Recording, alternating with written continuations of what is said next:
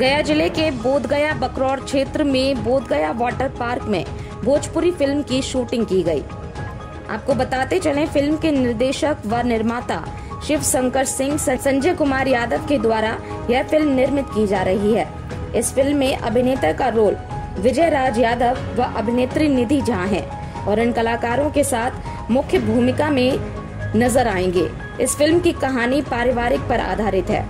इसमें यह दर्शाया गया है कि आज किस तरह से समाज में बुराइयाँ फैल रही हैं और समाज को लोग खोखला कर रहे हैं। इस पर आधारित यह फ़िल्म है। फ़िल्म में विनीत विशाल विलन का रोल अदा कर रहे हैं और राम बाबू गुप्ता, उर्फ़ महाकाल गुरु, नागराज का रोल अदा कर रहे हैं।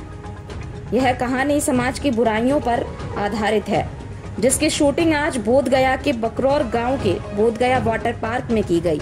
गया से अशोक शर्मा की रिपोर्ट।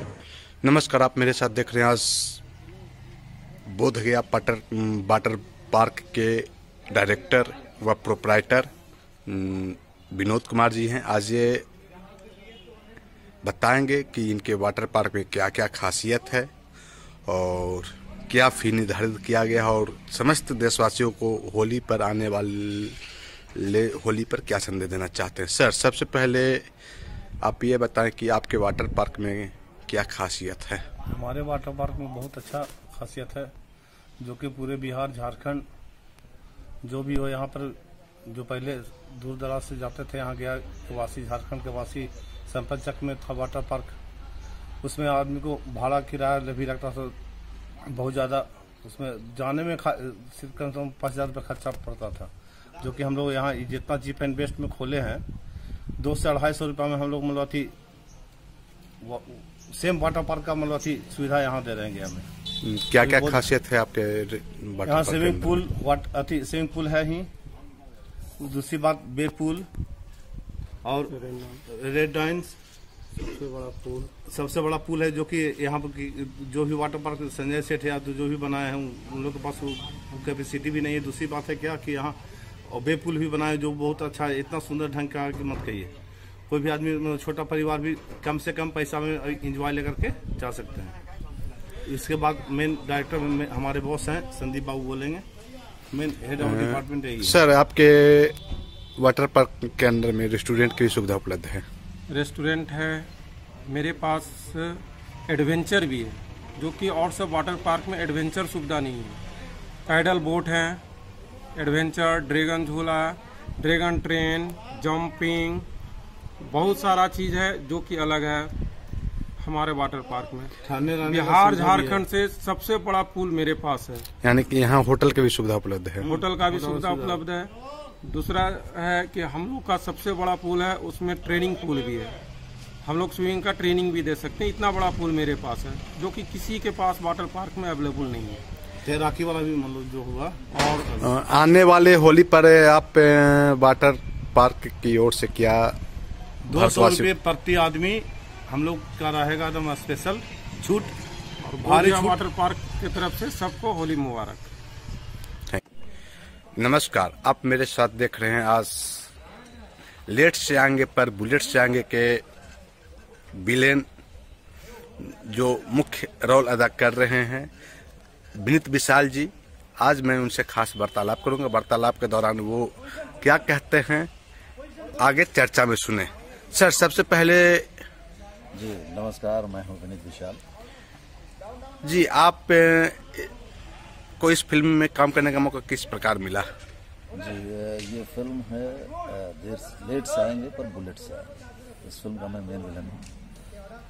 इस फ़िल्म में मेरी कास्टिंग हुई है इससे पहले मैंने फ़िल्म किया है दबंग सरकार खेसारी लाल यादव जी के साथ। उसका मैं मेन विलन उस फ़िल्म को इन्होंने देखा और उस तरह की पर्सनैलिटी इनको चाहिए थी अपनी फ़िल्म के लिए।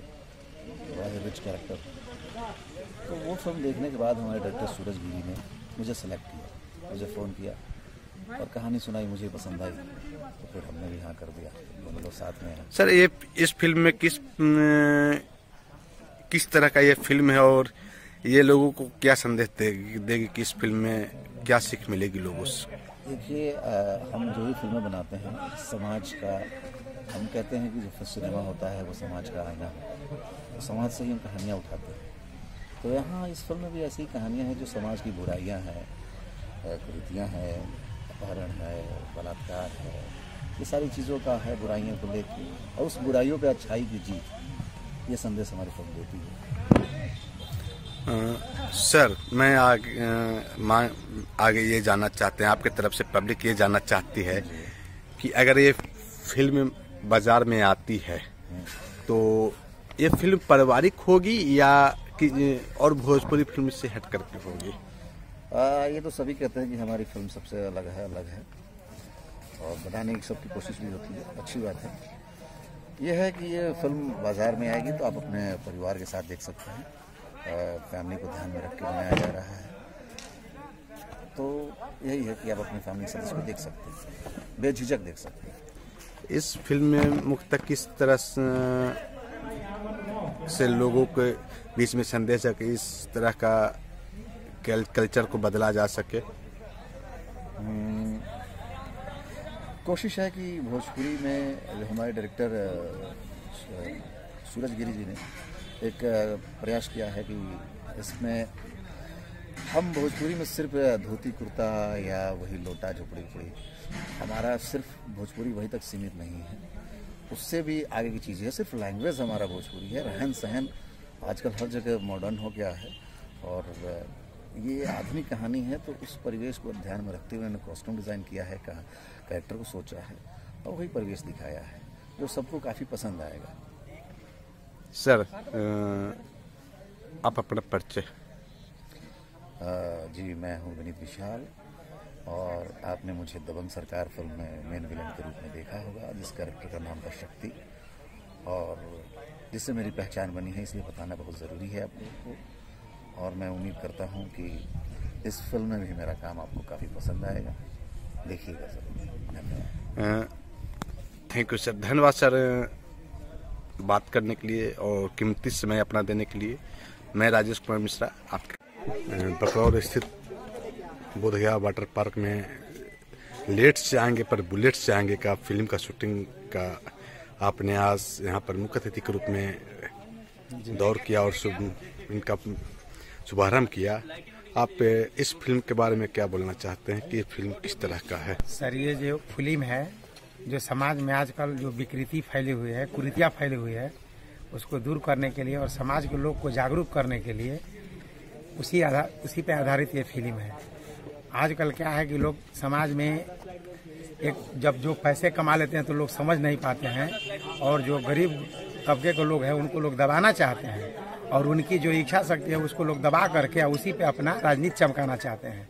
तो इसी सब का हम लोग, जो निम्न वर्ग के लोग हैं, उनको जागरूक करने के लिए, अपने हक को समझने के लिए और जो है, समाज में जो विकृतियाँ है, उसको खत्म करने के लिए, उसी पर आधारित समाज को जागरूक करने के लिए फ़िल्म के माध्यम से हम लोग ये जनता को दिखाना चाहते हैं और हम लोग चाहते हैं कि जनता लोग देखे और इसके विचार को समझे और वो अपना हक के लिए अपने लड़ाई के लिए समाज से लड़े। समाज में जो भी गलत तत्व के लोग हैं उनसे लोग सर इस फ़िल्म का नाम इस लेट से आएँगे पर बुलेट से आएँगे क्यों रखा गया? इसलिए रखा गया है सर कि जब भी समाज में कोई भी कुरीतियाँ होती है तो उसको जगाने के लिए आदमी लोग सोचते हैं और सोचते सोचते उनका समय बीत जाता है।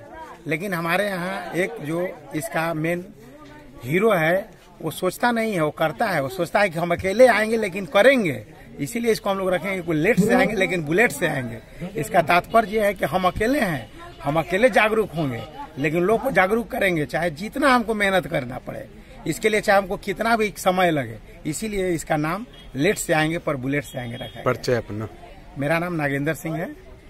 मधुसुंदरपुरी रोड नंबर पाँच में मेरा घर है। हम लोग यहाँ हम क्रशर व्यापारी हैं रोड के कॉन्ट्रैक्टर हैं गवर्नमेंट कॉन्ट्रैक्टर। और ये हमारे सब टीम है। हम लोग अपने तत्वाधान में ये पूरे फ़िल्म का सीन कराए सर आप भी दो सब कुछ बोलना चाहते हैं? हाँ सर। इस हाँ इस फ़िल्म के बारे में थोड़ा सा बताएँ। ये फ़िल्म लेट से आएँगे, पर बुलेट से आएँगे, जो शूटिंग चल रही है। इसमें सामाजिक कुरीतियों के खिलाफ आवाज़ उठाने का आह्वान हीरो के माध्यम से किया गया है। और ये संदेश दिया जा रहा है लोगों को कि आपके साथ कुछ भी गलत हो, जो भी सामाजिक कुरीतियाँ हो, उसके खिलाफ आप एक्शन लें, आवाज़ उठाएँ और जब आप आवाज़ उठाएँगे तो समाज देश आपके साथ होगा। यही संदेश इस फ़िल्म के नाम के माध्यम से भी है जो आपको दर्शाता है कि लेट से आएँगे पर बुलेट से आएँगे। परिचय। प्रेम प्रकाश पवन। Thank you